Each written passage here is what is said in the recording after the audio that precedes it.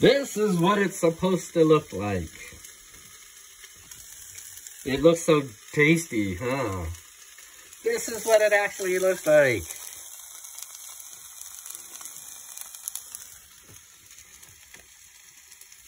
Heads should roll.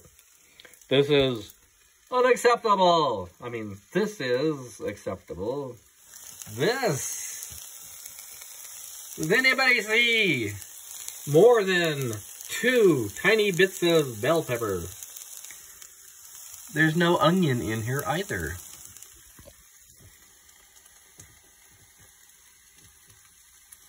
I guess when it says 100% real potatoes, they really do mean 100% potatoes.